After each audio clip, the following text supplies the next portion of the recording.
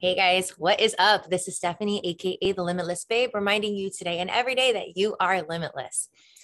I feel like it's been forever since I've been on with you guys, but you know, I've just been trying to soak up as much of the final days of summer with my daughter. Um, we had another really awesome mini vacation, and you know, just trying to and just enjoy every last minute uh, before getting back to reality. So here we are.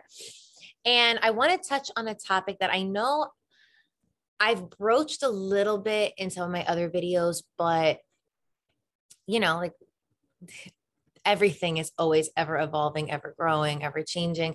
And I think that it's important to consistently touch back on certain topics so that we can stay on board knowing that where we are is perfectly okay.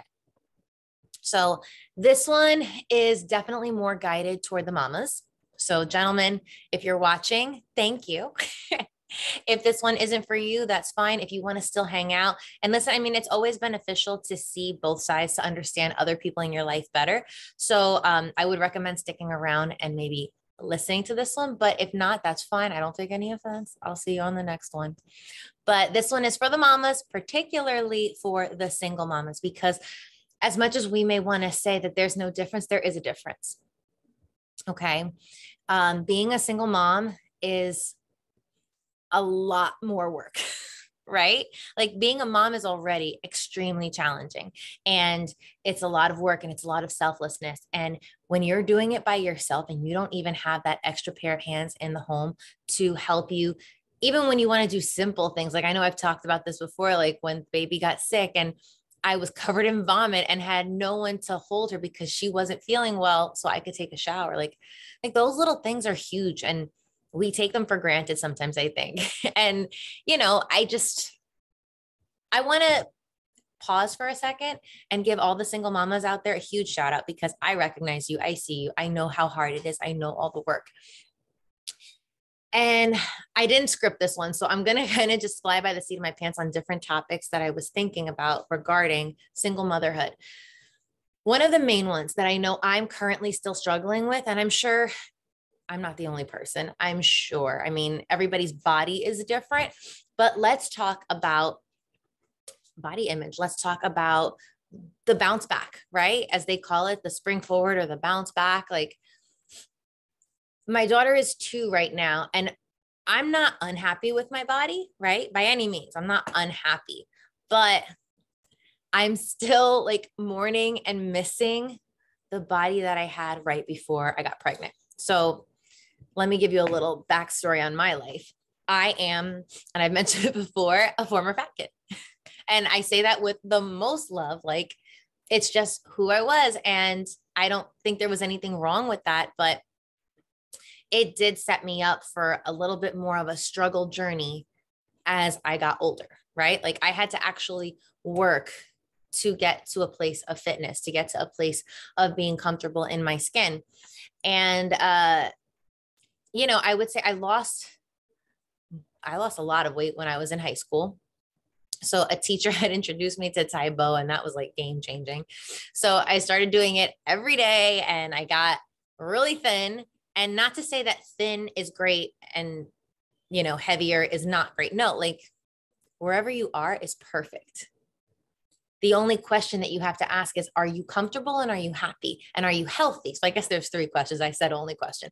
The only three questions Are you comfortable? Are you happy? And are you healthy? And your opinion is the only one that matters here. So I knew that for me, when I was heavy, I wasn't happy. I wasn't comfortable. Healthy, I actually was very healthy and active. I was a dancer even still. And um but I I knew there was room for improvement, you know what I mean? Like so I lost a lot of weight and I pretty much maintained like when I say a lot of weight, like we're talking like 50 pounds initially. So that's a big, a big deal. So um anyway, I don't want to bore you with all the details, but you know, like while I did lose all that weight, I my body now struggles to keep weight off. So if I want to stay slim, I do have to work at it. You know, like I'm not one of those people that's just naturally slim and naturally muscular or athletic. Like, no, I have to work at it. And I'm okay with that. So before I had my daughter, though, I was almost seemingly effortlessly in the best shape of my life. And that all started. Um, I know I've talked to you guys about that one breakup that like really stung and hurt because it was the one really great guy that I dated. And I was mourning that. And in the process of mourning that relationship, I put all my energy and effort into becoming the best version of myself. So I started running, which was hilarious because up until that point, I always would tell people listen, if somebody's not chasing me, I'm not running. I don't see the point. I don't like it. I don't want to do it. It doesn't feel good. Not doing it. Well, fast forward to now, this time in my life where I'm going through this really emotionally challenging time, I found running to be cathartic, therapeutic. Like it was incredible. And I started doing it all the time. And my body just melted. Like, I mean, at that point, I wasn't heavy. I was still, you know, like I said, I had lost 50 pounds when I was younger. And for the most part, I've really done well at keeping it off. I'm really good at catching myself when I start to gain a little bit and pulling it back. But, and always in healthy ways, guys. Like, I've never like starved myself or done any crazy stuff. Like, listen, I love balance. I love sweets. I enjoy the occasional carb and I am not cutting anything out. So that's just my personal preference. Everybody has to do what works for them. But for me, I need to live a lifestyle of balance. I would rather work out three times as hard and eat something that I enjoy than deprive myself of something. So, anyway, like running really had a great impact on me. Also, during that time, I started doing yoga and um, yoga and spin I was already a Zumba instructor. So because I now had all this extra free time and I needed to earn a little more to make up for the difference in the rent, I uh, I started teaching more. So figure, I'm trying to compare me now to someone who ran every day, who had the freedom to run every day, who taught Zumba anywhere from three to six times a week, who did yoga and spin each separately four times a week and also had the time to meal prep and to um, you know look up healthy recipes and basically my entire life was revolved around self and not in a negative way but in a very self-reflective way in a very nurturing way in a way that i was genuinely taking the best possible care of myself because who else did i have to? I mean i had my dog and i took very good care of her. That's another thing. I was taking my dog for like three mile to mile and a half long walks a day. So I was also walking a lot, running, yoga, Zumba, spin, like constantly moving and eating very healthy. So now, fast forward three years later, I have this amazing child that I wouldn't trade for the world. But now I'm also doing it alone. And again, I wouldn't trade that for the world. I love having her home. But I have to recognize that, like, I can't beat myself up for currently not having the same lifestyle. Granted, you know, in a few years when she's in school, then that's on me, right? Like, because at that point, I'll have a little bit more time to be able to get these things done for myself. And it's up to me to figure out how. But right now, like I accept the fact that if I can only get a few 10, 20, or 30 minute workouts in a week, like that's still good. That's still progress. And the crazy thing is, is that I, over the last two years, struggled a lot because I would catch myself beating myself up and obsessing over the scale and obsessing over, you know, why don't I look the same? So after I had my daughter, I actually was able to get myself back down to my pre pregnancy weight. And yet I wasn't happy. Remember, I said, Are you happy? Are you healthy? Are you uh, comfortable? You know, like, like I wasn't comfortable and I wasn't happy and I wasn't my healthiest. So I had to think, well, why? What's the difference? If the number on the scale is the same, what is the difference? And I realized, well, hello, you were doing all of these activities that build tremendous muscle. Like, especially never discount yoga, guys. Like, if you want a workout that doesn't, and that's the thing, I'm a huge sweater. I don't love sweating, but I sweat a lot when I work out. So I love the fact that yoga offers me an incredible workout. And I sweat, but I'm not sweating as much as I would in a heavier duty class.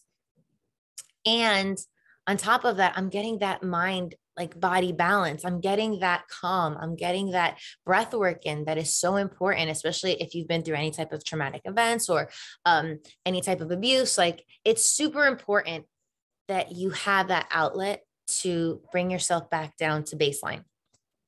So yoga was like oh my God, incredible for building my strength. And I didn't realize it until one day I went to work out with someone and they wanted me to do something that I knew years prior I couldn't do. I think pistol squats, I think that's what they're called when you squat with one leg out. I was never able to do those, right? Well, all of a sudden, I can. I was, I, I mean, I was complaining about it. I was like, all right, I'll try, I'll try, I'll try. I blew them out of the park. I did it better than that person. And I hadn't done them ever in my life. But you know why? Because of the balance and the strength that you build in your core from yoga. So, yeah, I was in the best shape of my life before I got pregnant, guys. and I'll get there again.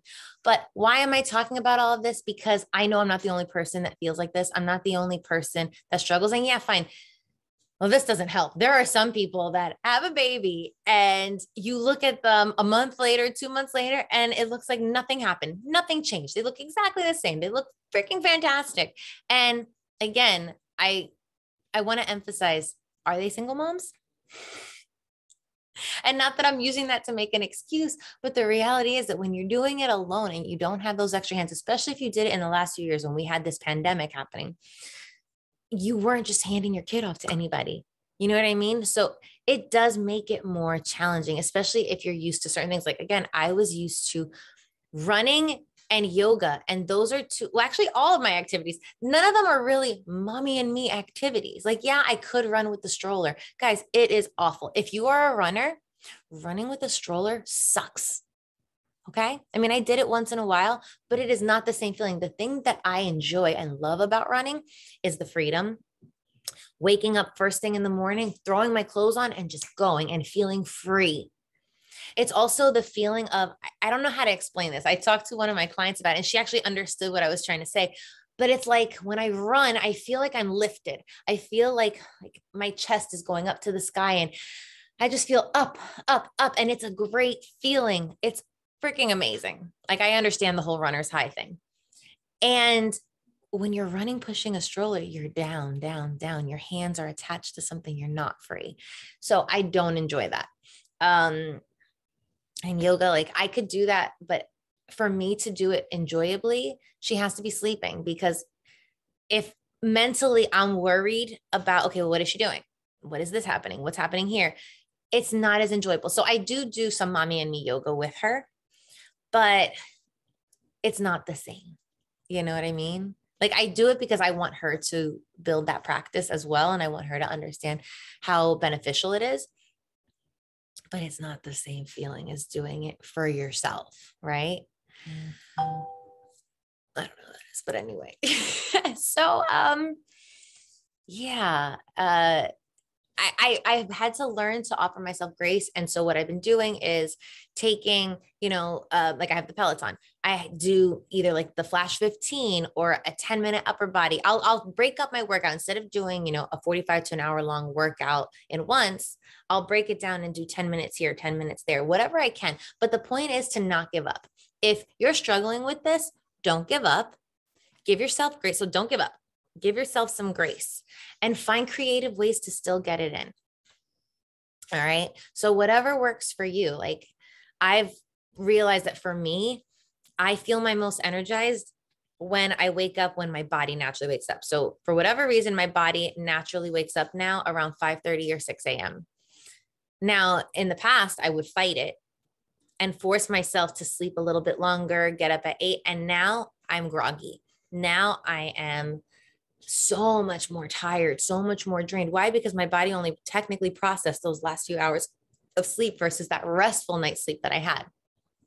So I noticed that for me, if I get up at that time at 5 30 or 6, now my daughter's sleeping. She's amazing. She sleeps late. So I know that's another thing. I do note that not everybody's kids are the same. Not everybody's home is the same, but my daughter um, usually sleeps until like nine or 10. Like she was sleeping until eight or nine, and now it's switched to nine or 10 since summer schedule. Um, I am going to try to regulate her back to eight or nine just because I need her to get back on track with also her naps and get everything, you know, back on schedule. But for right now, I have all that time to do things for myself. And granted, like it's not like I can go out and go for a run, right? Because I mean, she's here by herself. I can't leave her. But again, I have the Peloton. I can hop on the bike. I can get in a quick workout. I can clean the house. I can do what I need to do. Um, another new thing that her and I have been doing, which I absolutely love and I highly recommend for any single moms out there. Um, I, I got a bike. I found a bike. A neighbor was getting rid of it. I said, Hey, can I have this? Yeah, sure. Okay, great. So I got a bike. I bought an inexpensive trailer, a children's trailer at Walmart. And now, like, I'll, as soon as she wakes up, I brush her teeth, I change her diaper, and here we go. We're going for a four mile ride. And I got to tell you, like, I feel a great workout from that. And she enjoys it. And she's out in nature. And, you know, she talks to me. And sometimes, you know, I feel like she does really great for like about 40 minutes. And then she needs a little bit of some other type of stimulation. So then, you know, I'll give her my phone and put whatever show she wants to watch for those last, you know, 10, 20 minutes of our ride. But I'm bonding with her. Um, we're both getting out in nature. She's seeing the importance of exercise. I'm working towards getting my pre baby body back. And it just feels good. You know, like it just feels great. So, this is something that I'm very excited about. And I know, obviously, as it gets colder, as snow approaches, I'm going to have to figure something else out. But at least when it's nice out, we have this option. And I'm really excited about it and I really love it. And I hope that she loves it as much as I think she does.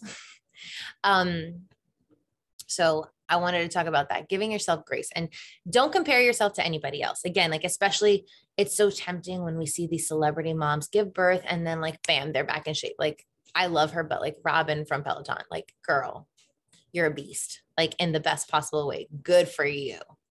But I can't compare myself to Robin because one, she's got a husband right? And as much as we don't want to admit it, like that makes a difference. That helps. Having that extra pair of hands and that extra support helps.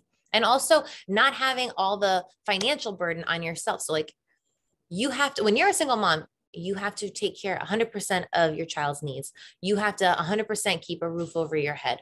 You have to 100% make sure that you're making time for yourself and for bonding with your baby. Like, there's a lot of pressure.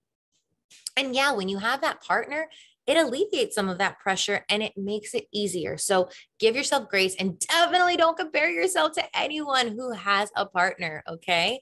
And also don't punish yourself for that because your story is exactly how your story is meant to be. Like I've talked about this before, like everything is happening for us, not to us. Wherever you are in this life, whatever your journey looks like, I promise you, this is exactly how it's supposed to be. And maybe you don't understand why. Maybe you're thinking, well, that's not fair. Why is my story like this? Well, because your comeback, your thrust forward, your victory story is going to be so big. But that can only happen if you take charge and if you take lead and if you decide that that's what you want. Okay. So everything's happening for us, not to us. But at the same time, we have to do the work.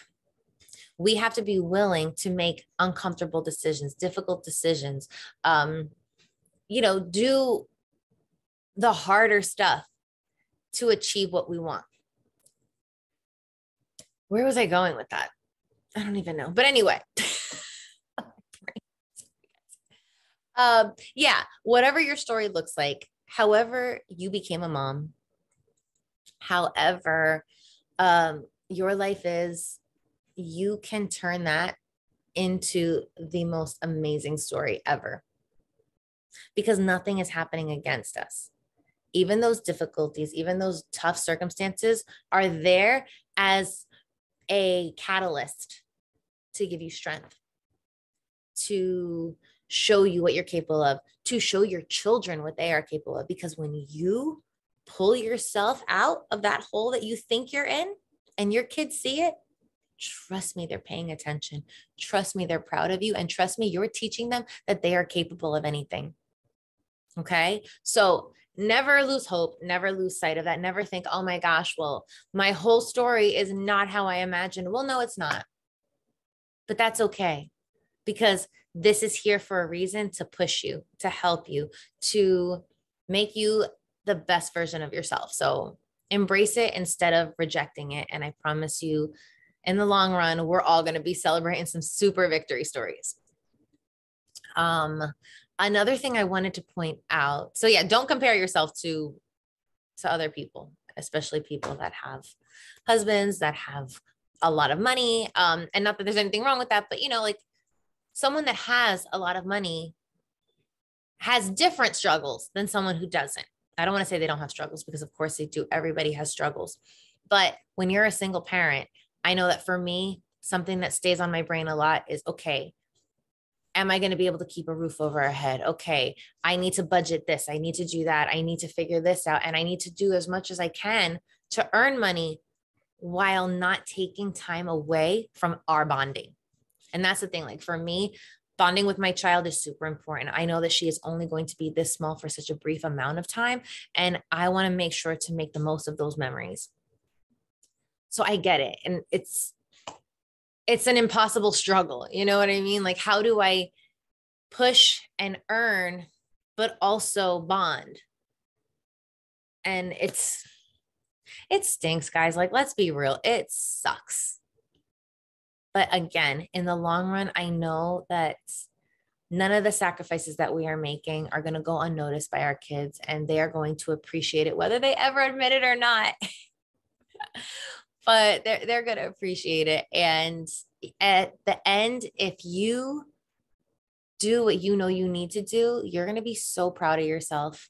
You're going to look back on these tough times and think, holy crap, like I was a beast. I was incredible. I can't believe like I, I survived things that I know other people would never be able to survive. So be proud of yourself. Um, another thing that I wanted to point out um, recently, I watched this movie on Netflix. I want to say it was called Look Both Ways. I mean, it was a cute movie, right? And basically, the premise is um, showing this young girl who's in college and how her life unravels in two different paths. So, one, if she had gotten pregnant in college, and one, if her pregnancy test came back negative and she was able to follow her career path right out of school. So, we see how both unravel. And I, um, one of my favorite parts of the movie was she's having a conversation with her mom as a single mother. I don't think at this point she had already had the baby. So, mind you, she had plans to move to California with her best friend and start her big career and live her amazing life. And instead, now she had to move back in with her parents and is pregnant, has a baby. And in her case, yes, the father is present and they do really well at co parenting, which is awesome. Um, but it's still really hard work you know, and there's a process that people don't talk about. And this is what her mother says is that one thing that people don't talk about, and this is not just for single mothers, this is for any mother. A lot of women go through a period of mourning. And I know I did. And it was mourning a few different things. You're mourning your dream of the way that your life was going to go, right? Like we all dream, well, oh, like, well, I'll do this and then I'll do this and I'll do this and then this will happen. And, you know, I'll have my 2.5 kids and my white picket fence and my husband. And for some of us, particularly single mothers, like, I don't know a single mother out there who any at least one who didn't get artificially inseminated. If you didn't get artificially inseminated, I don't know a single mother out there who planned to be a single mother and who thought, yeah, that's like my ideal situation. I can't wait to do that. Guys, no, none of us pick this life, right? Like, granted, maybe we make choices that didn't align with our desires, our ultimate desires, but nobody picks this. Okay. It's freaking hard. So there's the mourning of that. And I know like I heavily struggle with that because I always said, like, I'm never having a child until I'm married. And, you know, not that's not a judgment toward anybody else. That's just was my personal preference. And fast forward, not only was I not married, I was single by the time I had my daughter. And um, that was just like processing that. So processing all the change, the physical changes in your body, the emotional changes, because your hormones are all out of whack, processing the fact that, wait a second, this wasn't my plan. This wasn't my dream. This isn't how it's supposed to happen, you know, supposed to. Um, that's really hard. And then, so there's the grieving that process, right? But even if you have the husband, even if you have the life exactly how you calculated in your brain when you were a little girl, nobody talks about the fact that life is never the same after you have a child.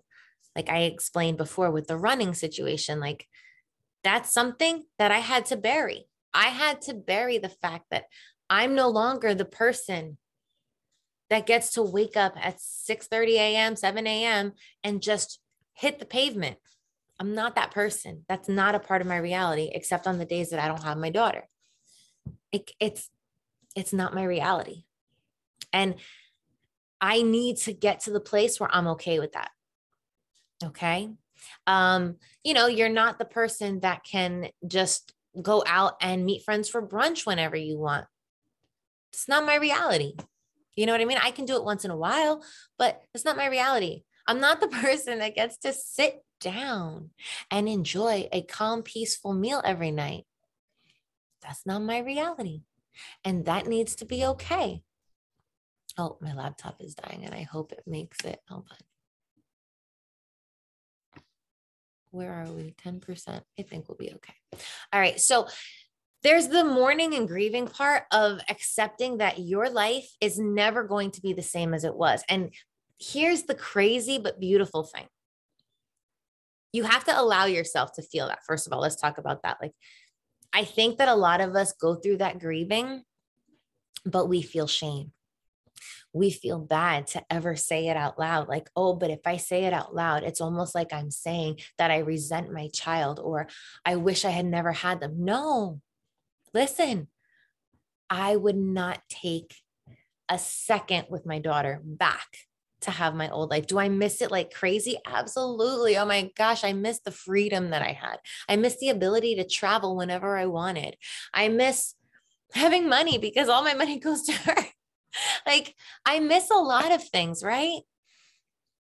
But I wouldn't take any of it back because the joy in her is incredible knowing that I am part of raising an incredible human being who is going to be an incredible human being in society, who already is showing me when she recites her affirmations on her own, like she's going to change the world. Like, I would never take any of this time back. But I got to acknowledge and verbally say out loud for myself that, yeah, I miss my old life. I miss my old body. I miss my old freedom. But here's the crazy kicker is that if you can release that, if you can accept that and release that and say, yeah, I do, I miss all of that, then you can turn around and create a new future. So your future is not going to look exactly like your past. And thank God, because we're ever changing, ever growing, ever evolving but you can decide. And I know this is something I've talked about um, in one of my old videos, and it was what does your um, something like what does your best life look like? What does your future look like? Your future life, what do you want it to look like? So take out a pen and paper.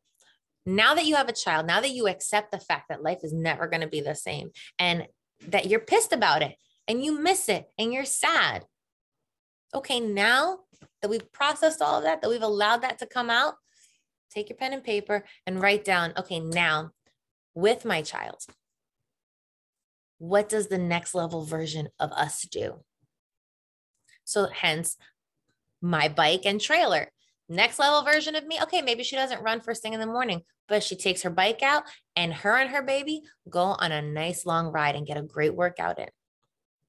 So, find little ways that you can adjust your life. And keep in mind that especially if you have a young child this um, list of what you do to create your future self it's going to change constantly because your kids are changing constantly and you know their needs change and everything schedules change. All of it changes so you have to be able to adapt quickly but don't stay stuck don't stay stuck in the grieving in the mourning let yourself feel it. Don't stay stuck in the shame of feeling those feelings. Let yourself process them. Let yourself feel them. And now figure out a next level plan. So that's all I've got for today. I'm sure I'll talk about this again at a future time, but I hope that you guys found this as beneficial as I did when I was realizing this for myself. And yeah, if you haven't, maybe check out that movie. Like I said, it was it the best movie I've ever seen? No, but it was cute. And it also, I love the fact that it showed not only her mom giving her that amazing advice, but it also showed how even though sometimes your life goes in ways that you didn't plan, no matter which way it goes, it always works out. Guys, your life is always going to work out, but you've got to get your mindset right. You've got to do the work. You've got to find a great coach. You got to figure out how to shift your perspective in a way that brings you full circle to what you ultimately desire. Um, again, the name of the movie was, God, I forgot. Look Both Ways on Netflix and have an amazing limitless day. And hopefully, I will see you sooner rather than later. Bye.